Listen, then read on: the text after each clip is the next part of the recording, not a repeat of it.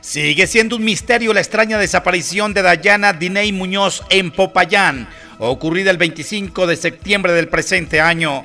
Sale desde el 25 de septiembre, a la fecha seguimos sin tener información sobre ellas, hemos estado haciendo mesas con policía de seguimiento de ese caso y de otras situaciones que hay también eh, digamos, en el municipio y lamentablemente no hemos tenido noticias de la joven.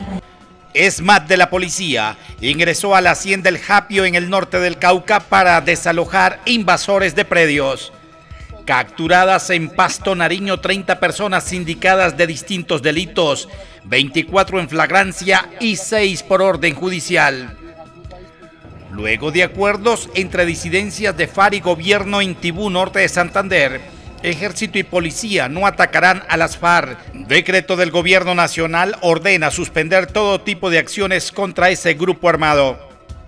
Programa 5.000 mujeres trabajando desde casa y segundas oportunidades y su, su cierre administrativo con un balance positivo en Popayán.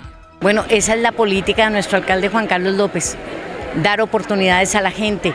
Y lo más lindo, la gente responde. Por eso este programa, Mil Mujeres y Personas con Discapacidad Trabajando desde Casa, tiene una sostenibilidad de más del 86%. Eso quiere decir que Popayán tiene talento. En Piendamo, Cauca, Administración Municipal firma convenio solidario con la comunidad de zonas rurales para mejoramiento de vías. Barrio Brisas del Río con redes de alcantarillado en el corregimiento del Mango en Argelia, Cauca. Nueva generación de Gregorio Molano apoya en Popayán la candidatura de Octavio Guzmán a la gobernación del Cauca.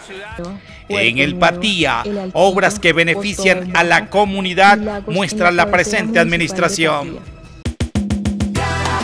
Por una ciudad segura, deporte, sana cultura.